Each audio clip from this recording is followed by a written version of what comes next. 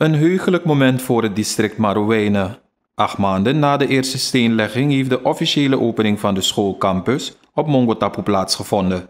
De regering heeft zich hiermee gehouden aan het streven om het nieuwe onderwijscomplex bij de start van het nieuwe schooljaar in gebruik te nemen. Zowel president Chandrika Persat Santokhi als vicepresident Ronnie Brunswijk bleef stilstaan bij de investering in het onderwijs en de ontwikkeling die op gang wordt gebracht voor het district Marowijnen. De communicatiedienst Suriname legt het volgende voor u vast. Met baro odi aan respectie. En als ik vandaag hier sta om de officiële opening te doen van de middelbare school hier in het district Marowijnen, de Mungo Tapu, dan moet ik een paar dingen memoreren die zeer belangrijk zijn voor deze dag.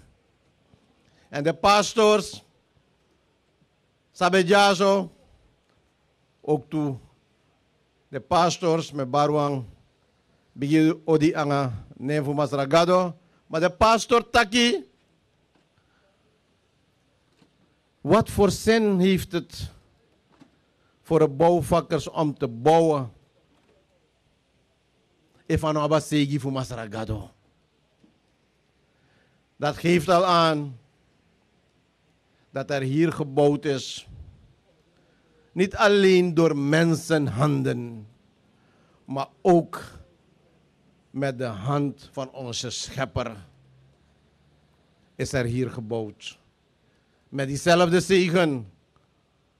En deze plaats begrijpt u nu pas waarom het gekozen is. En dat heeft moeder Brunswijk net verteld. Agronja zo absegi. Agron absegi ja zo. En dat heeft ze zelf ervaren als moeder. Een ander ding wat ik moet memoreren is dat vandaag we niet alleen een opening hebben van een school, maar deze dag zal moeten bijdragen dat vertrouwen in de politiek terug zal moeten komen. En ik leg u uit waarom.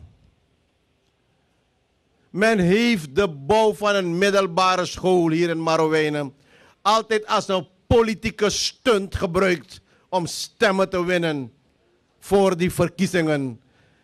En vele jongeren hebben daardoor hoop gekregen. Vele moeders hebben daardoor hoop gekregen. Maar die school is nooit gekomen. Waardoor er een wantrouwen ontstaan is in die politiek. En wat doen we?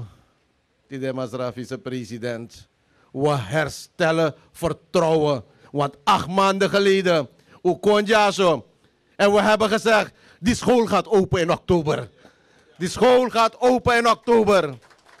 En je ziet wat we neerzetten. Het gaat open. Vertrouwen komt terug. Vertrouwen in politiek betekent. Doe wat je zegt. En zeg wat je gaat doen. En dat is wat we doen. Het is voor mij een eer. Echt wel een eer. Om u allen bij deze officiële opening van de lang verwachte, en ik zeg het, de lang verwachte scholensgemeenschap de Mungotapu toe te mogen spreken. De Marowijnse gemeenschap, in het bijzonder de studenten, allemaal verwachtingsvol. Wij als docenten ook verwachtingsvol. Persoonlijk ook verwachtingsvol dat de lange afstanden, de lange reis die gemaakt moest worden naar het VUS SGT, dagelijks vier uur te moeten opstaan in de ochtend, vijf uur de schoolbus te moeten pakken naar Marowijnen, vanaf gisteren tot het verleden is gaan behoren. Naar Kommerwijnen voor mij, want ik zat op Kommerwijnen. Toch? Maar het is vanaf gisteren voor mij tot het verleden gaan behoren. En vanaf gisteren ook voor de kinderen van Marowijnen en omgeving. Want we kregen kinderen van Bigistong enzovoort. Nog steeds Marowijnen. Ook tot het verleden gaan behoren. Daar richt ik mij tot de studenten. De keuze om jouw studie voort te zetten, is er een waarvan u en uw gemeenschap en uw omgeving zullen profiteren. In de vorige eeuw heeft de VS, de Verenigde Staten van Amerika, een beroemde president gehad, genaamd Theodorus Roosevelt, die het belang van keuzes maken ook heeft onderkend. En in dat kader zei hij,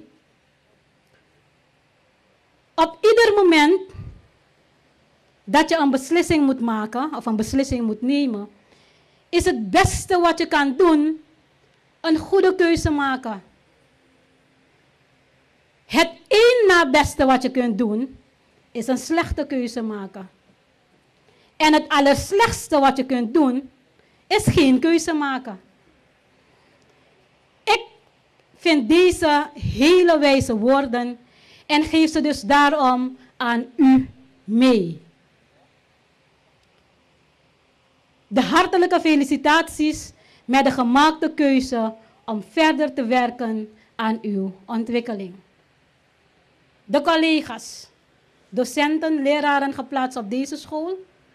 Aan u wil ik zeggen, geef u alles wat in u zit om van het scholengemeenschap, de scholengemeenschap, sorry, Mungotapu, het beste te maken.